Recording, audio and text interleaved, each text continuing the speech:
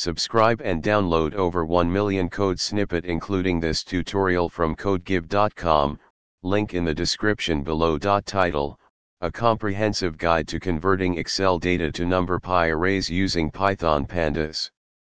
Introduction Python, with its powerful libraries like pandas, provides a convenient way to work with data, including data stored in Excel files. In this tutorial, we will explore how to convert Excel data into NumPy arrays using the pandas library.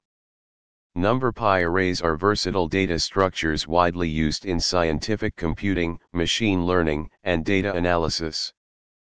Prerequisites Step 1 Import necessary libraries. Step 2 Load Excel data into a pandas data frame. Step 3 Explore and understand the data frame. Before converting the data to a NumPy array, let's take a quick look at the data frame to understand its structure and contents. Step 4, extract data from data frame as NumPy array.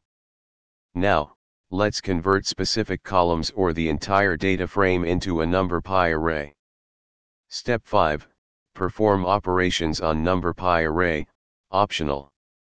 You can perform various operations on the NumPy array, such as statistical calculations or data manipulation. Step 6, save NumPy array to a file, optional.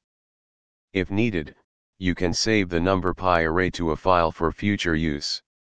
Conclusion In this tutorial, we covered the process of converting Excel data into NumPy arrays using Python pandas. NumPy arrays provide a versatile and efficient way to handle numerical data, making them suitable for various data analysis and machine learning tasks.